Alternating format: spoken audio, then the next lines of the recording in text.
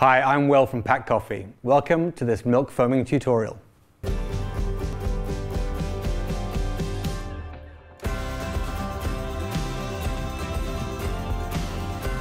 going to take my clean, dry milk pitcher and I'm going to half fill it with milk. I need to have enough space so that I can allow a lot of movement of the milk itself.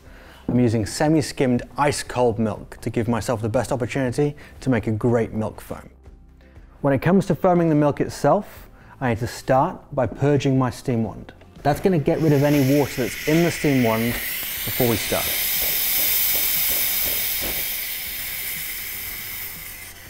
I'm going to take my milk pitcher and I'm going to position the tip of the steam wand just below the surface, no more than a centimetre in at any point during the foaming phase. I'm going to put it in the back right hand corner of the milk pitcher and that should create a really nice vortex in the milk as it's steaming.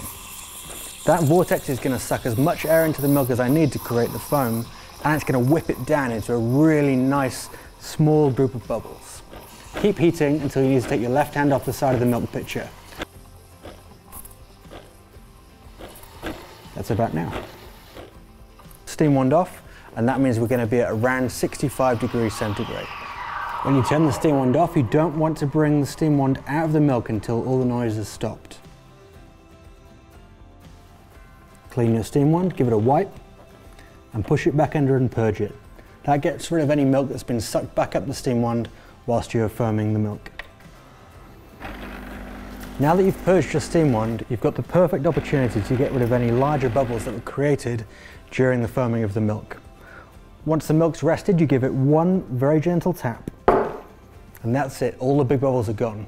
Now you can spin the milk, and you should find that as the milk works back up into the foam, you get a glossy texture, a lot like paint. Next, I'm going to take an espresso that I made earlier and pour some beautiful latte.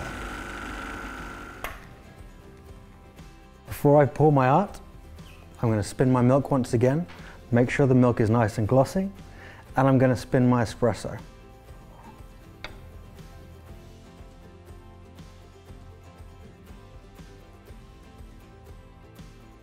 And there you go.